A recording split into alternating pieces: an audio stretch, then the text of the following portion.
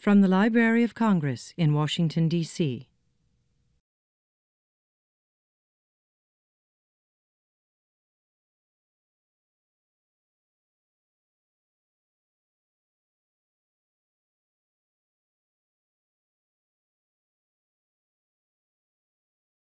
Hello, everybody. Thanks for coming out on a, a, wet but at least not snowy day here in Washington, D.C. Uh, my name is Rob Casper. I'm the head of the Poetry and Literature Center here at the library, and I want to welcome you to the first Literary Birthdays event of the spring, celebrating writer Philip Roth. First, uh, before we begin, let me ask you to turn off your cell phones or any electronic uh, devices that you have that might interfere with uh, this afternoon's event. Uh, second, uh, please note that this program is being recorded and by participating you give us permission for future use of the recording.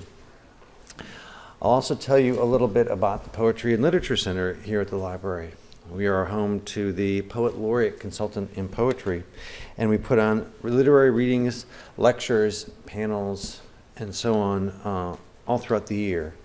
If you would like to uh, find out more about events like this, we have a sign up sheet uh, in the foyer. We also have a selected list of our upcoming programs, including our next literary birthday celebrations. Um, I think the next one is uh, Vladimir Nabokov in April. Uh, we are thrilled today to celebrate Philip Roth's 81st birthday. You can read more about him and about our featured readers Sam Lipsyte and Howard Norman uh, in our print program, which you should have gotten on your chair. Uh, the event is especially meaningful to us as Roth was unable to attend the National Book Festival back in 2012, where he was slated to receive the festival's Creative Achievement Award. Today, we have a new opportunity to honor Roth and his work with two of America's great fiction writers. I'll explain a little bit about the program itself. Our two featured readers will read in alphabetical order, and they'll read their favorite Roth selections and connect uh, those selections and, and him as a writer to their own work. Uh, following the readings, Alice Birney of our manuscripts division will say a few words about our great uh, and full tabletop display of materials from our Philip Roth papers uh, and she will talk also about the great work that the Manuscripts Division does to ensure that future generations can connect to the exemplars of our culture. If you would like to know more about the Manuscripts Division, you can visit their website, www.loc.gov slash rr slash mss. And you can visit our website at loc.gov slash poetry. And now, please join me in welcoming Sam Lipsyte and Howard Norman.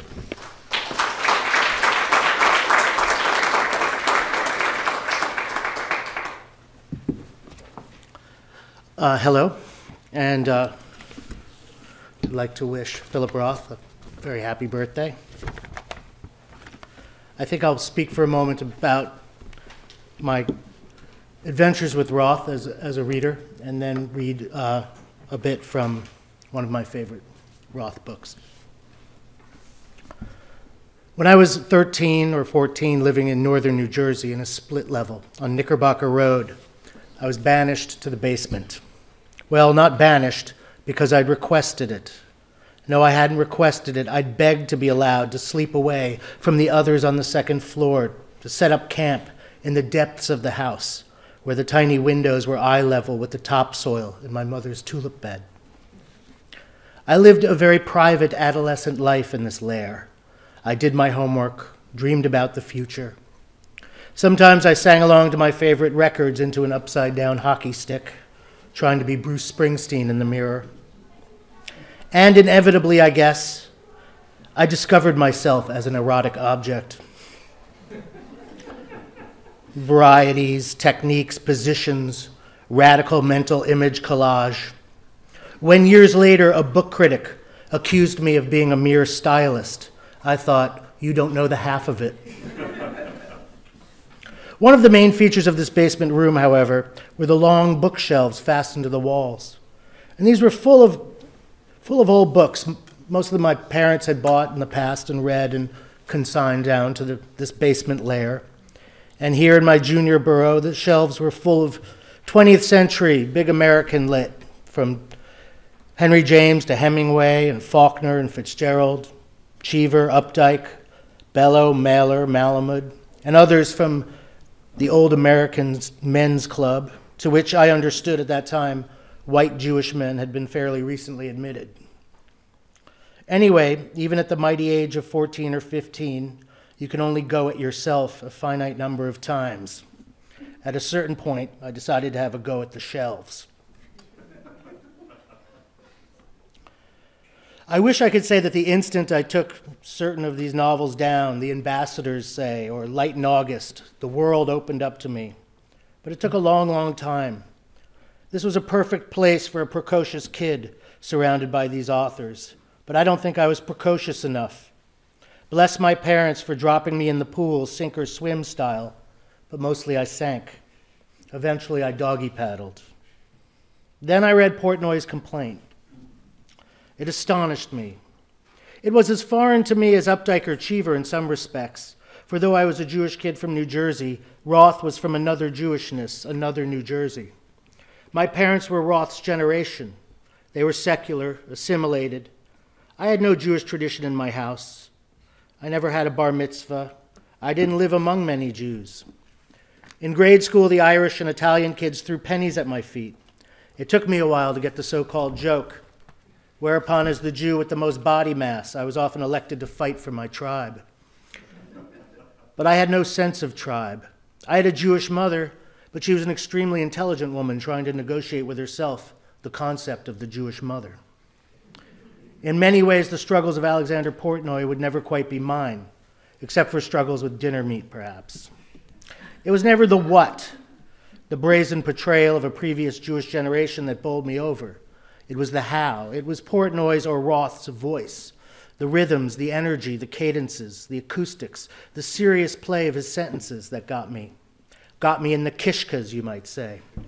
It coursed through my body. I knew and I didn't know it. And over the years, I read more and more Roth, the Zuckerman books, and so on. I loved the Ghostwriter, the Prague Orgy, the Counterlife. I soaked it all up. And even as I knew Roth disdained the title Jewish American writer, Roth's books weirdly made the old Jewish ways, the ones his protagonists often felt shackled by, attractive to me. But I also knew something that as a Jew from New Jersey with literary ambitions, I had to make a break for it, find other models, masters, mentors. It used to be fashionable to talk about what the critic Harold Bloom called the anxiety of influence. It's not fashionable anymore, and for a lot of well intentioned reasons. But it doesn't mean it isn't true. You do try to shrug it all off, but it needn't be this anguished battle. It's just that you realize you can't be anybody else. But when a young writer tries to be many different writers, that's not a bad thing. By failing to be your conception of other people, you can often find a way to accommodate your many selves in fiction and in life. When I returned to Roth, it was to read Sabbath's Theater, which was published in 1995 and won the National Book Award. This is my favorite Roth book. This is where it all comes together for me the big number, Eros and Thanatos, and some kind of hilarious and wounding Busby Berkeley spectacular. It's the story of a ruined man, Mickey Sabbath, a former avant garde puppeteer who passed up the chance to be Big Bird so he could be true to his art. His art, though, hasn't existed for a long time. It's what the world would call his depravity that he lives for now. He lives by his own code, an antiquated code where to eschew monogamy, bourgeois stability, conventional morality, to have, as another hero of mine, Barry Hannah, once wrote, exactly enough courage to jaywalk or cheat a wife or friend with a quote from Nietzsche on your lips, is to stand up to society's brute oppression. This code leads him down dark, indecent paths, makes us doubt his sanity. But really, he is beyond it now. This is a man who has cataloged his phone sex tapes so he can leave them to the Library of Congress. He's a Quixote of quickies who now grieves suicidally over the death of his last mistress, Drenka, as he continues to grieve for his first wife, who disappeared under strange circumstances, and his beloved brother, who died in World War II, and his mother, who still talks to him from beyond the grave. He's a dirty old man not above stealing the underwear of his old friend's daughter while trying to seduce his wife. but he's also one of the great characters in 20th century fiction. Lear, Falstaff, Whitman, all rolled into one wild, randy, huge heart storm. And it is his profane desires and deeds, his immaturity, his mature immaturity, as the scholar Ross Posnock has put it, his refusal to act his age, to be civil, to pinch off the flow of his id, that finally destroys him, or maybe doesn't. But either way, while his deeds may outrage, his utterance, raw, poetic, mad, unstable, unflinching, endures. He's Mickey Sabbath, and here he's just woken up in the bedroom of his friend Norman's daughter, Debbie, who's at college. Later, he's to attend the funeral of an old friend, Link, a suicide.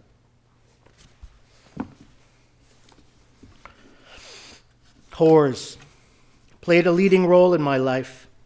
Always felt at home with whores, particularly fond of whores, the stew like stink of those oniony parts.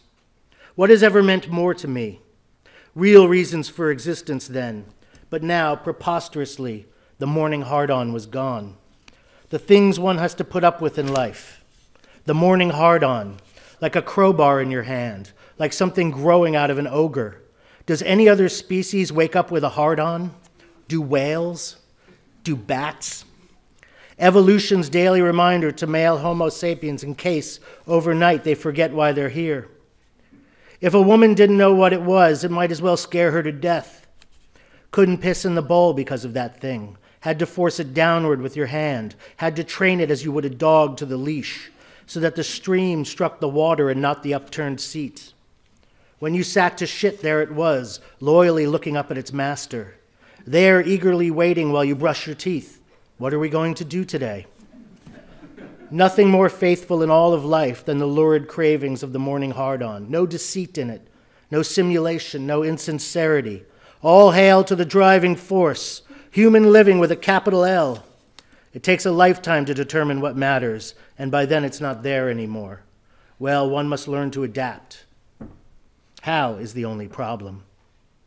He tried to think of a reason to get up, let alone to go on living.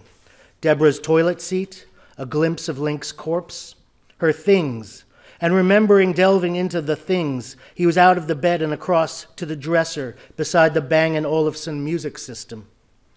Brimming, a treasure trove, brilliant hues of silk and satin, childish cotton underpants with red circus stripes, string bikinis with satin behinds, stretched satin thong bikinis, floss your teeth with those thongs, garter belts in purple, black, and white, Renoir's palette, rose, pale pink, navy, white, purple, gold, red, peach, underwired black embroidered bras, lace push up bras with little bows, scalloped lace half bras, satin half bras, C cup, a viper's nest of multicolored pantyhose in white, black, and a chocolatey brown, sheer silk lace panty pantyhose of the kind that Drenka wore to drive him nuts, a delicious butterscotch color silk camisole leopard print panties with matching bra, lace body stockings, three and all black, a strapless black satin bodysuit with padded push up cups, edged with lace and hooks and straps,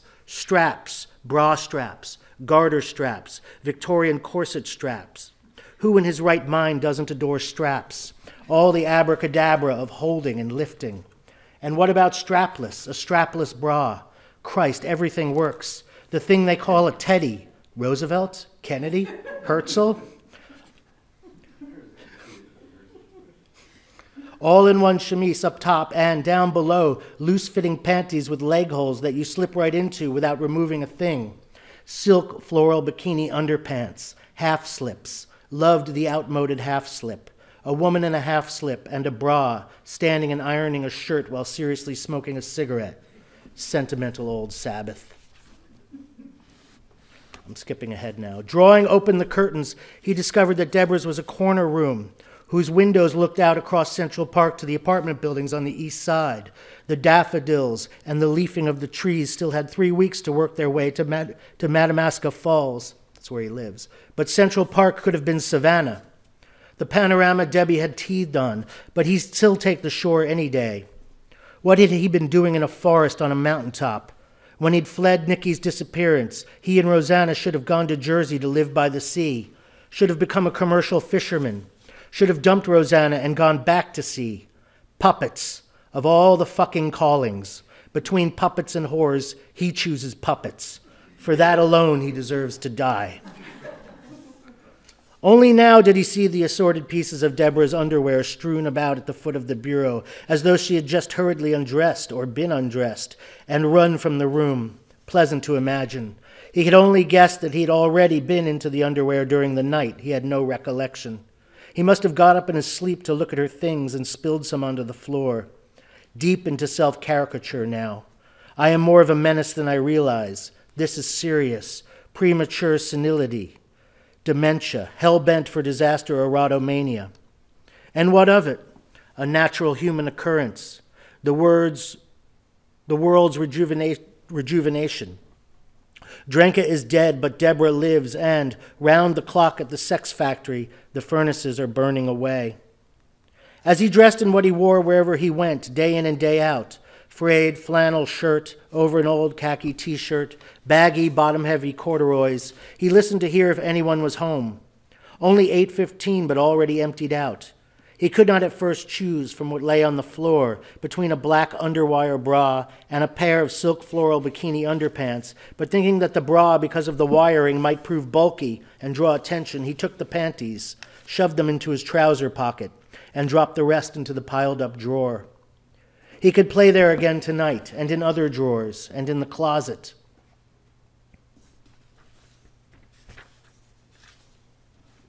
The law of living, fluctuation, for every thought a counter thought, for every urge a counter urge.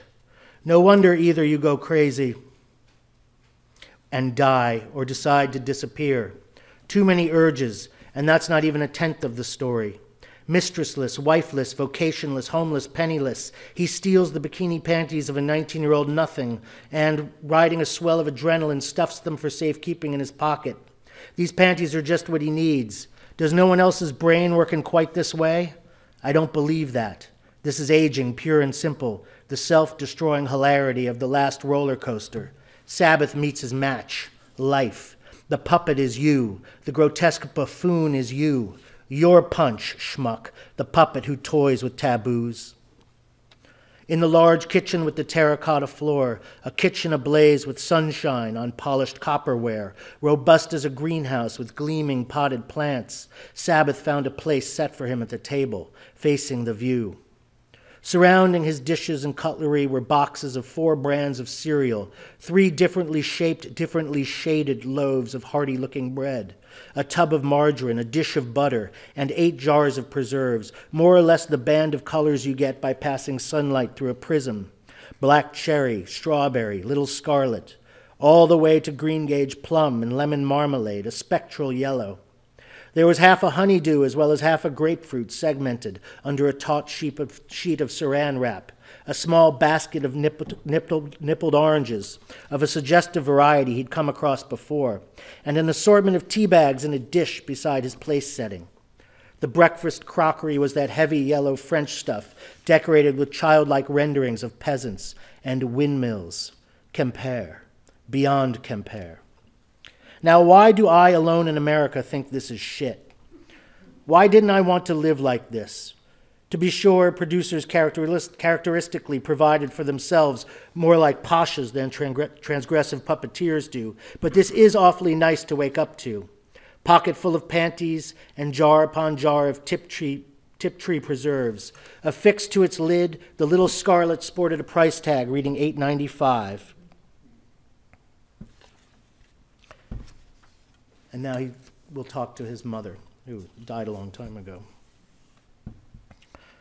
Right, Ma? You had incoherence in spades. The death of Morty still defies belief. You were right to shut up after that. You think like a failure, Sabbath's mother replied. I am a failure. I was saying that to Norm only last night. I'm at the very pinnacle of failure. How else should I think? All you ever wanted were whorehouses and whores. You have the ideology of a pimp. You should have been one. Ideology, no less how knowing she had become in the afterlife. They must give courses. It's too late, Ma. The black guys have got the market cornered. Try again. You should have led a normal and productive life. You should have had a family. You should have had a profession. You shouldn't have run away from life. Puppets. It seemed like a good idea at the time, Mother. I even studied in Italy. You studied whores in Italy. You deliberately set out to live on the wrong side of existence. You should have had my worries. But I do, I do. Crying again. I do. I have your worries exactly. Then why do you go around with an alter kocker's beard and wearing your playground clothes and with whores? Quarrel if you like with the clothes and the whores, but the beard is essential if I don't want to look at my face. You look like a beast. And what should I look like, Norman? Norman was always a lovely boy. And I? You always got your excitement in other ways, always. Even as a tiny child, you were a little stranger in the house. Is that true? I didn't know that. I was so happy. But always a little stranger, making everything into a farce. Everything? You? Of course. Look now, making death itself into a farce. Is there anything more serious than dying? No, but you want to make it into a farce. Even killing yourself you won't do with dignity. That's asking a lot. I don't think anyone who kills himself kills himself with dignity. I don't believe that's possible. Then you be the first. Make us proud. but how, Mother? Thanks.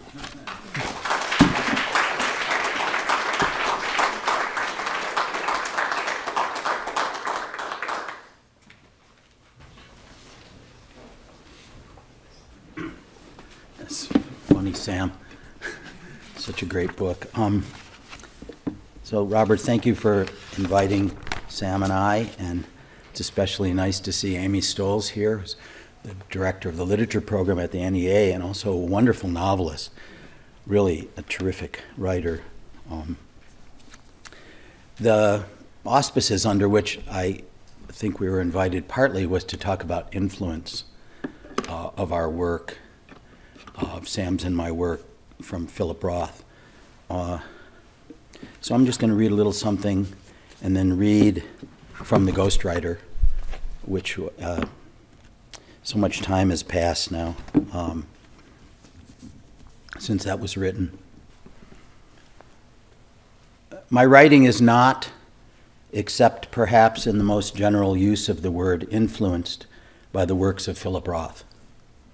To suggest that it is would be sheer hubris. It would elevate my own writing, even if briefly, to the highest echelon of regard. I can only speak for myself here, and I mean this with absolute conviction. Influence, of course, may mean different things to different people. For instance, Philip Roth's preoccupation with the complicated realm of ambiguous ancestry, of young America confronting old Europe, even of writing as a way to heal personal and historical wounds, were subjects that haunted Henry James. Is that James' influence on Roth? I don't know. Maybe they are simply antecedent claims on the world itself.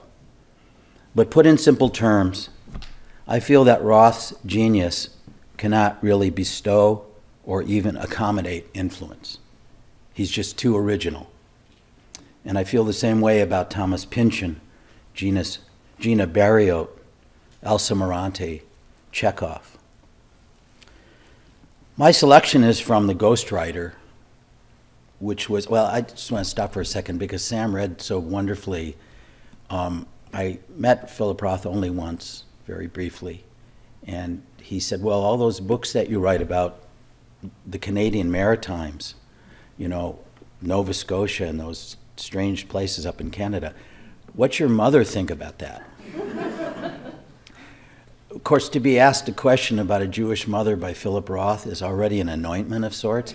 Um, but I said, well, uh, every time I send my mother uh, a book, she calls me and she said, I read your book, still no Jews. Which probably pretty hard to make Philip Roth laugh, but he did chuckle a little bit. Um, my selection um, today is from The Ghostwriter, which was published in 1979 after appearing in its entirety in the New, in the New Yorker. There was an American Playhouse television adaptation, if you are interested, that starred, perhaps ironically, Claire Bloom as the long suffering writer's wife. It's really an excellent uh, production. In previous books, Philip Roth had featured his doppelganger, or as Chekhov called it, a shadowing figure, in the person of Nathan Zuckerman. In The Ghostwriter, however, we are presented Nathan in the 1950s. Nathan is a 23 year old self proclaimed writer who arrives to New England, uh, kind of picture postcard winter farmhouse setting. It's a kind of pilgrimage to the uh, reclusive writer Manny Lonoff, his literary idol. Born in Europe and raised in Palestine, Manny has been married to Hope for 35 years. Lonoff has, quote, written short stories about wandering Jews unlike anything written before by any Jew who had wandered into America.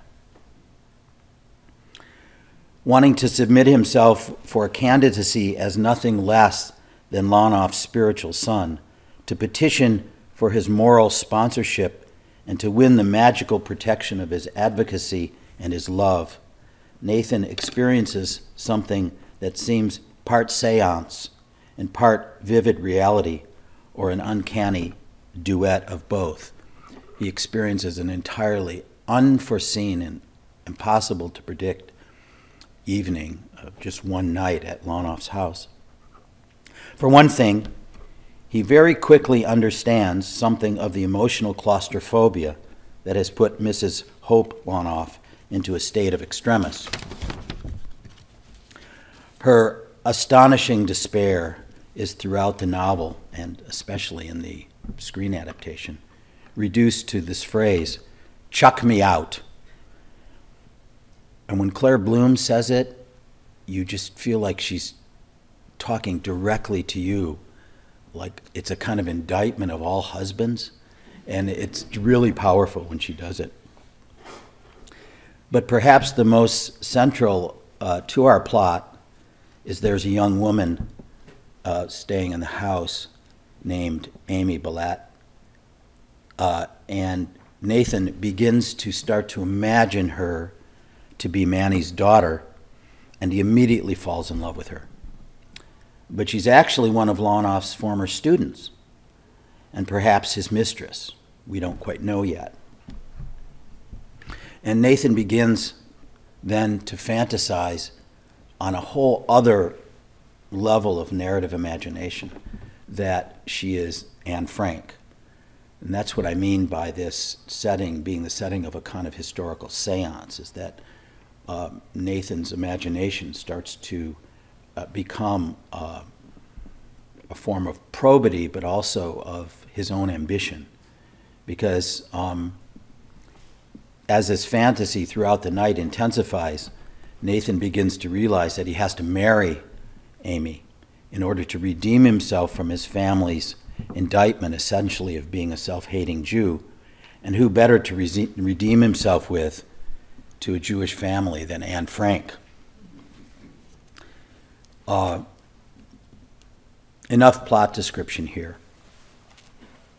Um, I think the thing is about the ghostwriter, it seamlessly shifts from analytical to the ambiguous, and it subverts all convenient notions of artistic truthfulness and ambition. And I must say, it is one of the most disturbing and perversely beguiling portraits of the imploded sufferings of a marriage that I have ever read, perhaps since Robert Frost's poem Home Burial, which you might remember, you know, that narrative poem. I, I saw her at the top of the stairs before she saw me, and it's about a loss, but it's the loss only intensifies things that already exist. Um, it's one of Roth's favorite poems. But as Salmon, my ma- partial mandate today was to address the idea of influence. I want to say why, in part, I've chosen passages from the chapter titled Nathan Dedalus. The ghostwriter, amongst its many remarkable accomplishments, puts Roth's literary erudition on a high exhibit. All sorts of writers are mentioned in this book. This is a story, after all, about literary inheritance. Hemingway, Babel, Henry James, Flaubert, and others. And of course, not to uh, um, forget the literary diarist Anne Frank herself.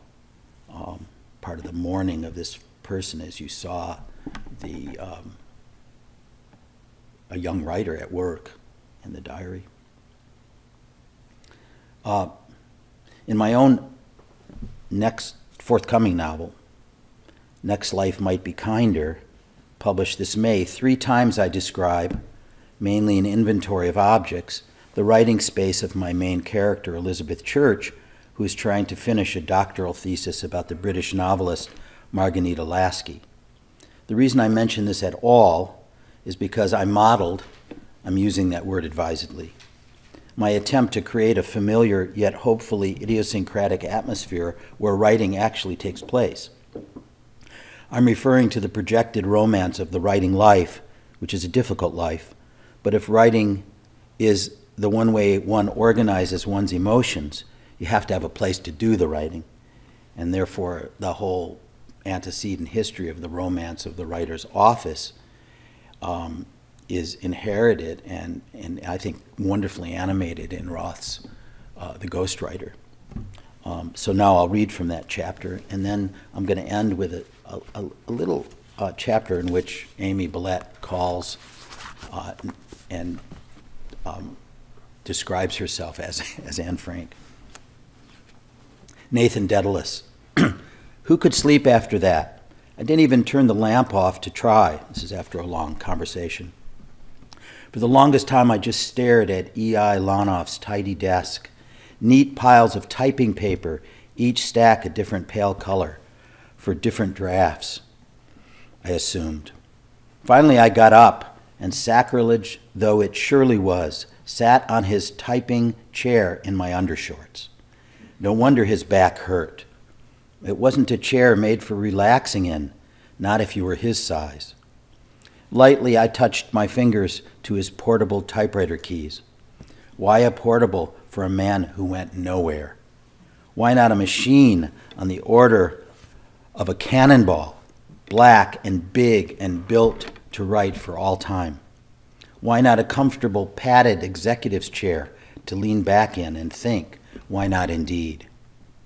Pinned to the bulletin board beside his desk, the cell's only real embellishments were a little wall calendar from the local bank and two annotated index cards. One card bore a fragmentary sentence ascribed to Schumann on, on, on Chopin's Scherzo number 2 in B flat minor. It read, so overflowing with tenderness, boldness, love, and contempt that it may be compared, not inappropriately, to a poem by Byron.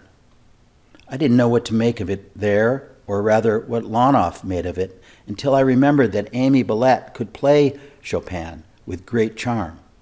Maybe it was she who had typed it out for him, scrupulous attribution and all, enclosing it, perhaps, with the gift of a record so that late in the afternoons he could listen to Chopin even when she was no longer around.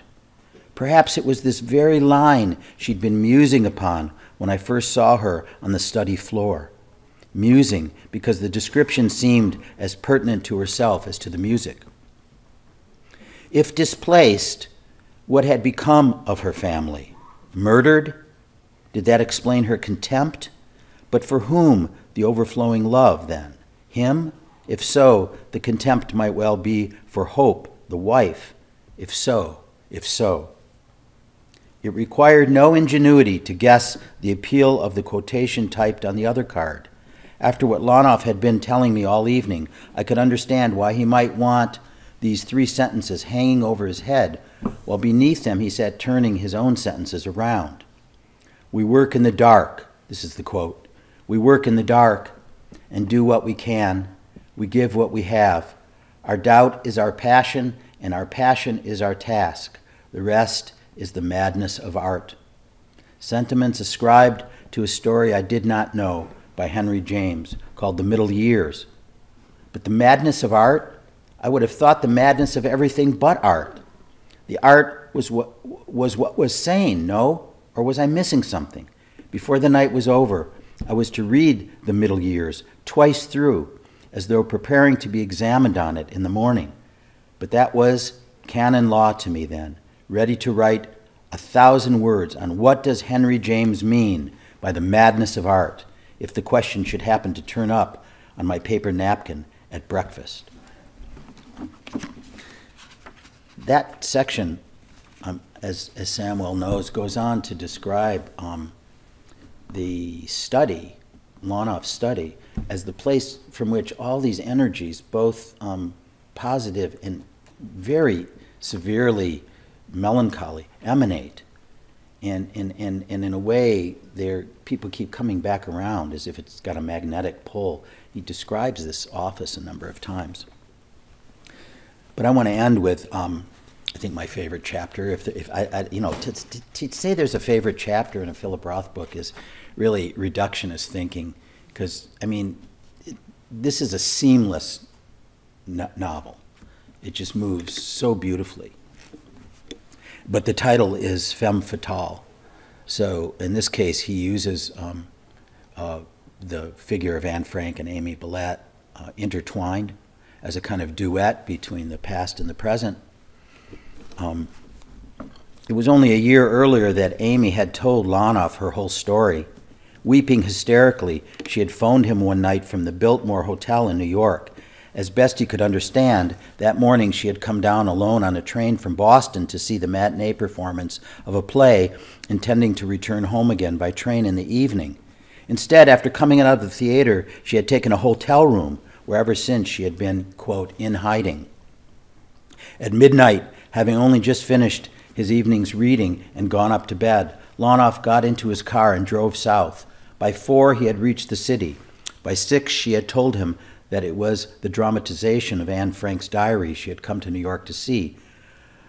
But it was mid morning before she could explain, even somewhat coherently, her connection with this new Broadway play. It wasn't the play, she said. I could have watched that easily enough if I had been alone. It was the people watching with me.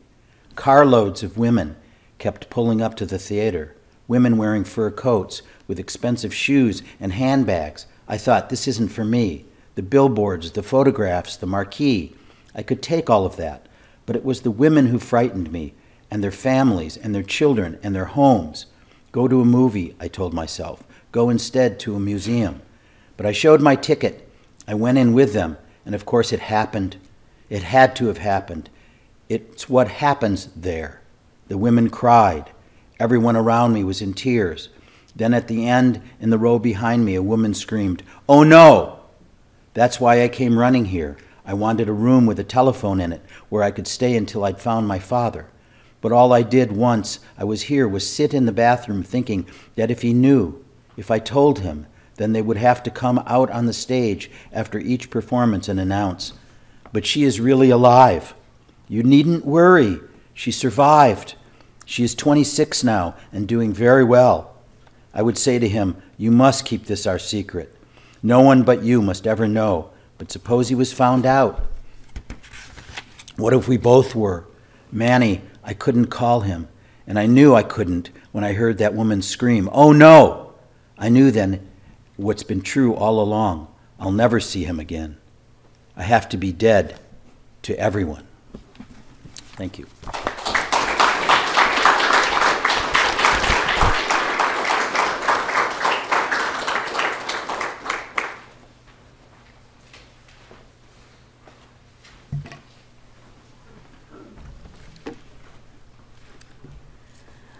A year ago, on this date, I was in Newark, New Jersey, as one of the invited guests at Philip Roth's grand 80th birthday celebration.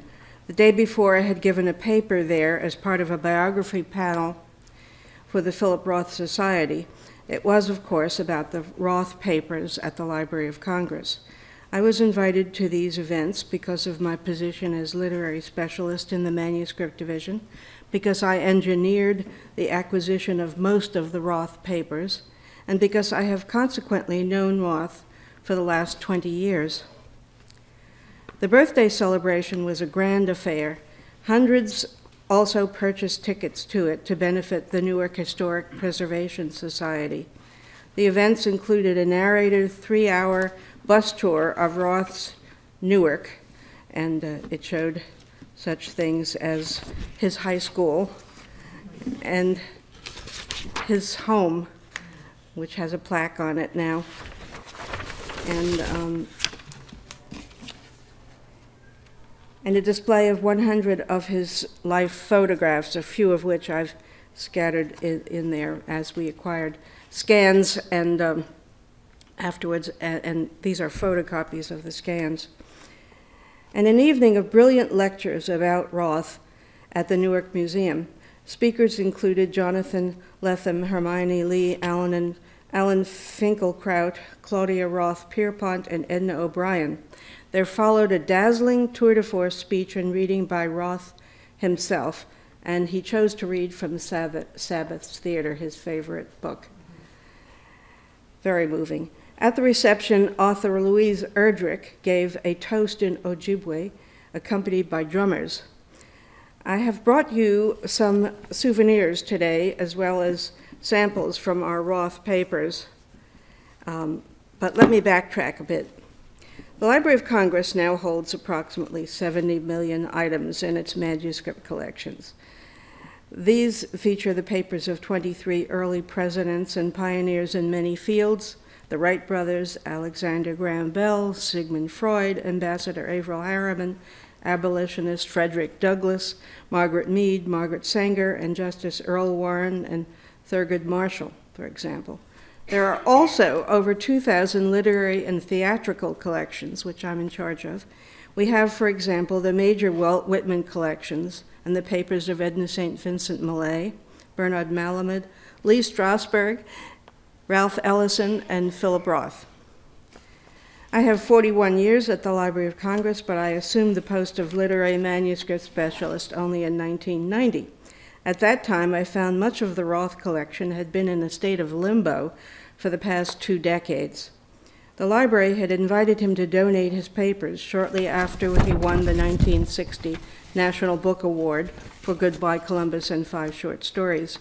He donated his early papers, drafts for the first four books and material from his college days, in 1969, and those early materials became our permanent possessions.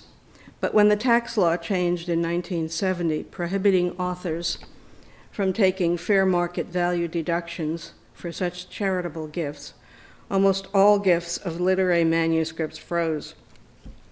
During the subsequent years, authors were encouraged to add more manuscripts, which would, however, only be on deposit, as libraries and authors alike hoped every year for a reform of the IRS ban. But it did not change, and consequently, many collect- literary collections were truncated or split, uh, causing difficulties for researchers. During the next two decades, Roth deposited a mass of additional material which we could not archive because it was only on deposit. In 1993, I devised a plan to acquire that deposit material and subsequent papers by contract with the author. Since he kept his papers in roughly chronological order. Later editions would be made in five year increments, the five year plan. The, these acquisitions have been made for his papers through 2004. Our archivist um, arranged some 25,000 items eventually uh, in 299 containers. In these, we have correspondence, drafts, galleys, notes, interviews, play scripts, clippings, photographs. The papers for 2000 to 2004 remain unprocessed in seven cartons.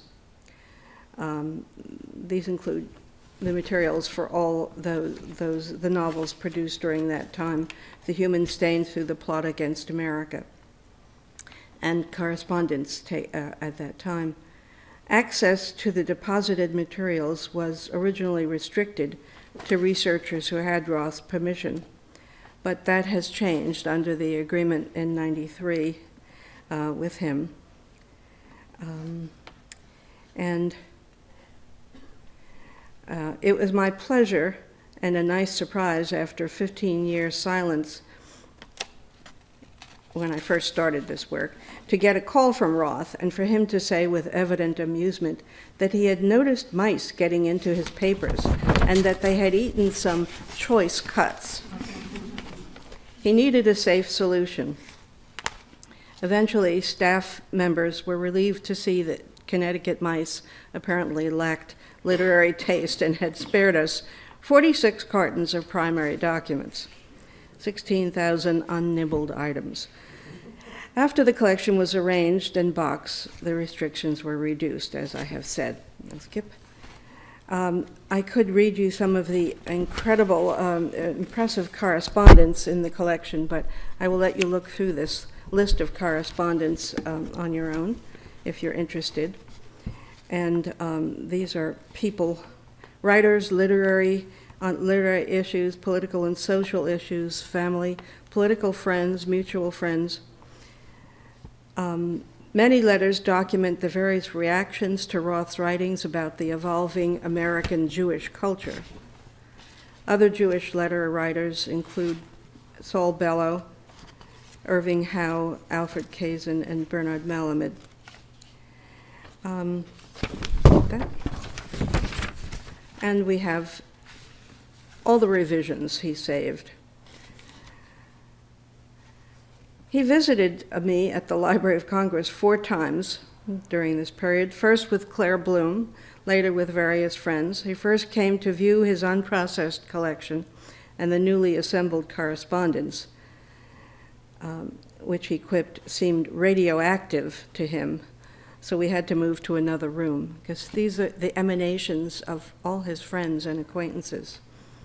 He came to dance at a library gala in 1997 and stopped by with friends for a manuscript division tour before going to the White House to accept the 2010 National Humanities Medal from President Obama. Last September, the library awarded him, as you've, as you've heard, a Lifetime Achievement Award in fiction. And during these years, he's often called me for help in uh, research in some of his works. Um, today, I have on the table for your perusal just a little drop in the bucket. Uh, a few images from the 2013 Newark tour, which are the photocopies, some color printouts, which I selected and sent to Le Monde for, for their Roth I didn't bring those, for their Roth um, special issue. And um, selected item letters from Saul Bellow, Claire Bloom, Allen Ginsberg, um, and a draft of Goodbye Columbus was near the final draft, still full of corrections. A nice Jewish boy, an uncompleted novel a sample of patrimony manuscript, the shikses section of Portnoy's complaint.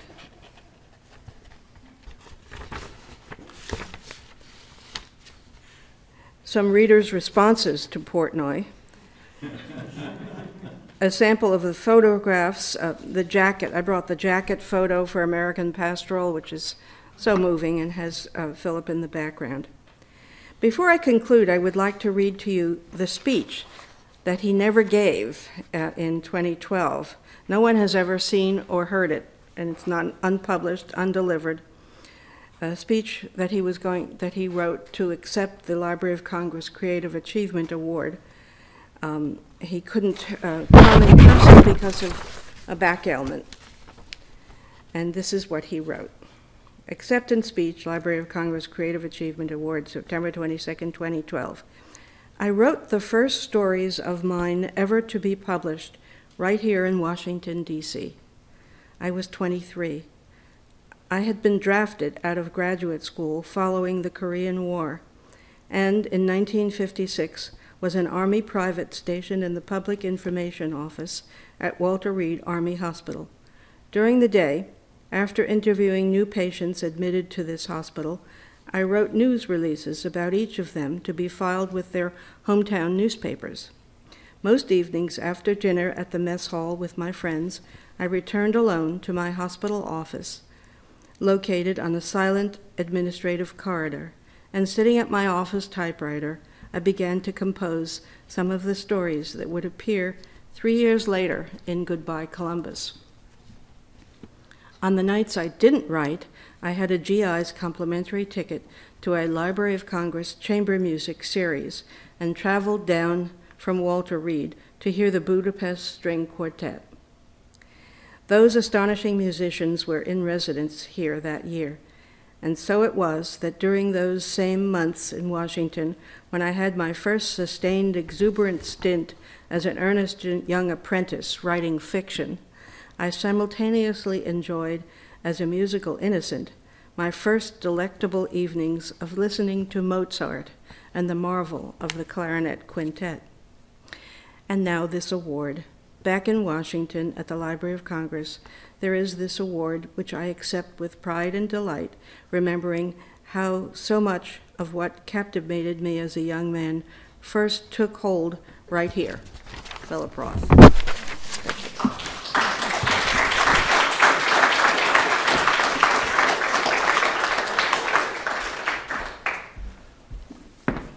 Thanks, Alice, for that presentation and for that reading. And uh, thanks to both of our readers, Sam Lipsyte and Howard Norman. Uh, please do come up and check out the materials. Alice will be up here to explain them.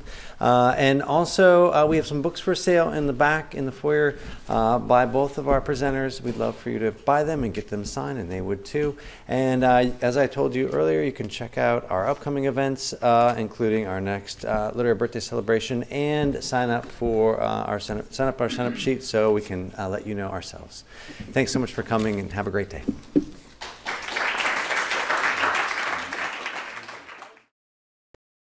This has been a presentation of the Library of Congress.